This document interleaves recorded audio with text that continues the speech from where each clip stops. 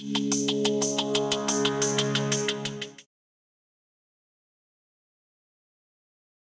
this is Scott Knoke, uh, Benson County Extension Agent. Uh, I'm just going to show you a few gardening tips that I've uh, learned over the number of years.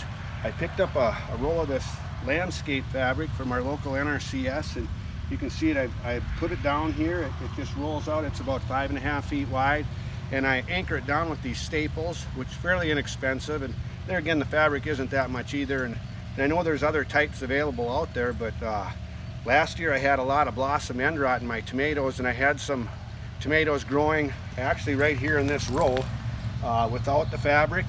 And then I had some growing in the fabric over here. And I had about 60% blossom end rot uh, outside the fabric.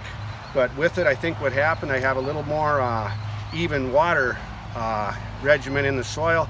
So I didn't have that big fluctuation which I've been re reading and, and I've been told that that, that can cause some uh, blossom end rot but there was a marked difference between the stuff that was uh, with the fabric and without. So I'm going to try it again this year. I'll have some in the plain soil and in the fabric but what it does is it warms up quickly. Your plants get off to a real quick start. And like I say you just put these staples down and you can you can cut your holes with this fabric, it, it cuts almost like paper, no problem at all.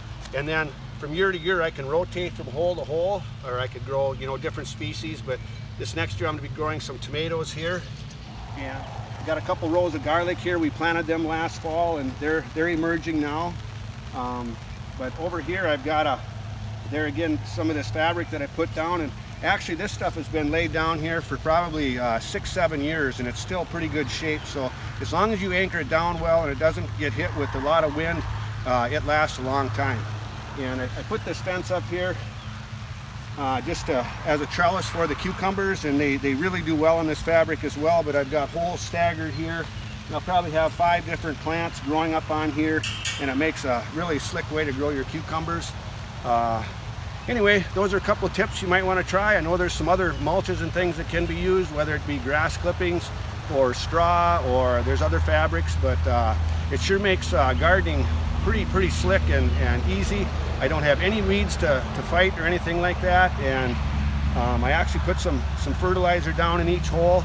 I actually put some fish in there that I cut up uh, and discarded and after a while that'll break down and it creates really a nice nice uh, loamy soil and it, it just works pretty slick. So anyway some tips from Benson County